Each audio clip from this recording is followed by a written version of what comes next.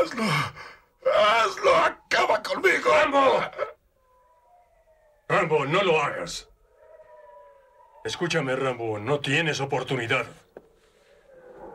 Arroja el arma. Voy a pedir el helicóptero y regresaremos a Praga. ¡No disparen! ¡Kern!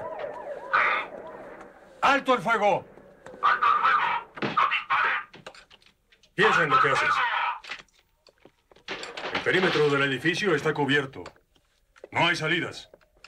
Hay casi 200 hombres y muchas M-16. Hiciste todo lo posible para crear esta guerra privada. Ya hiciste demasiado daño. Esta misión acabó, Rambo, ¿lo entiendes? La misión ha acabado. Míralos. ¡Míralos! Si no acabas ahora, te matarán. ¿Es eso lo que quieres? Se acabó, Johnny. Se acabó. ¡Nada acabado! ¡Nada! No es tan fácil acabar. No era mi guerra. Tú me llamaste, yo no te fui a buscar. Hice lo necesario para ganar, pero alguien no nos dejó ganar. Y cuando regreso al mundo, encuentro a esos gusanos en el aeropuerto, protestando contra mí, llamándome asesino y toda clase de estupideces. ¿Quiénes eran para protestar, eh? ¿Quiénes eran? Debieron estar en mi lugar o estar ahí saber de qué diablos hablan. Ha sido muy difícil para todos, Rambo. Pero ha quedado en el pasado. ¡Para ti! Para mí la vida civil no vale nada. En el campo había un código de honor. Tú cuidas mi espalda, yo te cubro a ti. Pero aquí no hay nada. Eres el último de un grupo especial. No acabes así. Allá podía usar una metralleta, conducir un tanque. Estaba a cargo de equipo que valía millones, pero aquí no puedo conseguir empleo ni estacionando autos. Que, lo olvide. Que lo olvide. ¿Dónde están todos? Todos ellos. Mis,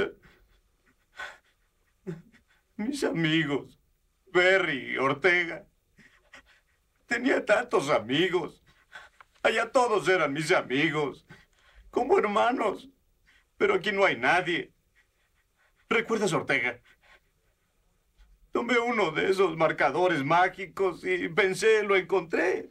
Lo envié a Las Vegas porque él siempre hablaba de Las Vegas y del auto que tenía. Era un Chevy convertible 58. Siempre hablaba de él. Dijo que viajaríamos en él sin descanso.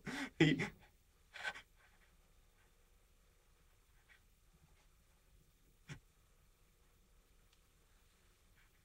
Estaba en un granero y de pronto salió ese niño que llevaba una caja para lustrar zapatos y me dijo, lustro, por favor, lustro. Le dije que no y siguió insistiendo. Yo dijo, sí. Yo eh, fui por un par de cervezas. La caja tenía una bomba. Él abrió y la bomba lo voló en mil pedazos por todas partes. Y él ahí tendido, gritando, y a mi alrededor había pedazos de su cuerpo y tuve que recogerlo, ¿sabes? Mi amigo estaba regado a mi alrededor, sangre y todo, y yo tratando de reconstruirlo, de sostenerlo, y todas sus entrañas saliéndosele. Y nadie ayudaba, nadie ayudaba, y él decía, quiero irme a casa, quiero irme a casa, y así seguía diciendo, quiero irme a casa, quiero conducir mi Chevy, y yo no podía encontrar sus malditas piernas, no. No pude encontrar sus piernas. No puedo quitarlo de mi mente. Después de siete años, todos los días lo recuerdo. A veces despierto y no sé dónde estoy. No hablo con nadie. A veces un día, una semana. No pude quitarlo de mi mente.